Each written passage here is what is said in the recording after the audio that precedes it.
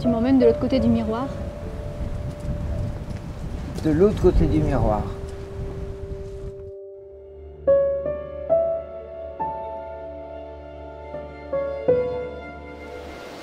Et les chevaliers de la table ronde, les chevaliers de la quête arthurienne, ils traversaient la forêt de Brocéliande, ils accomplissaient des prouesses, ils cherchaient l'aventure et ils allaient vers l'amour.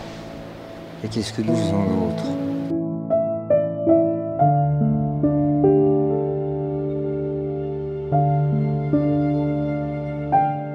Peut-être que cette joie que nous ressentons aussi à grimper provient simplement du fait qu'on rejoint notre corps euh, animal.